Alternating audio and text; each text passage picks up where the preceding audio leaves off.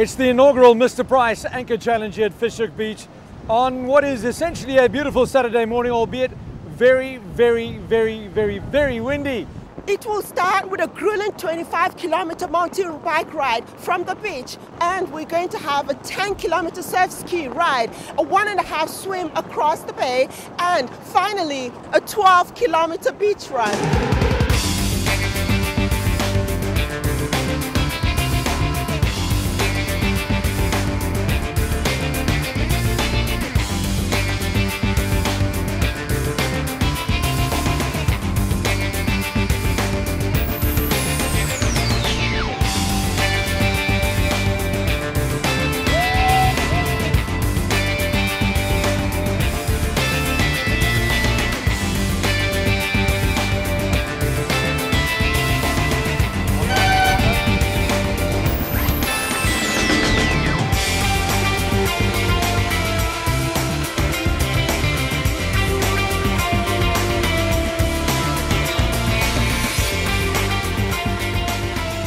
Started off with a mountain bike discipline, a 25 kilometer trek up the old Oudtshoornweg on the wagon trail up to the top of Silvermine and back again. And winning that was Kent Horner in a time of 1 hour 15 minutes.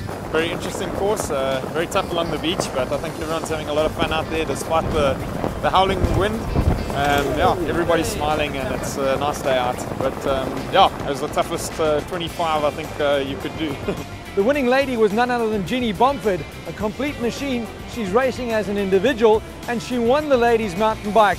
Oh, it's a challenge to be out there. The weather conditions and that definitely put a different uh, aspect on this whole challenge. Supposed to be four disciplines, but because of the wind and for safety factors, deciding to take the surf ski out. So the next discipline will be the swim. There'll be a two-lap surf swim. And as Dawid Mocke called it, It'll be the first swim in history with more running than swimming. This is the Mr. Price Anchor Challenge.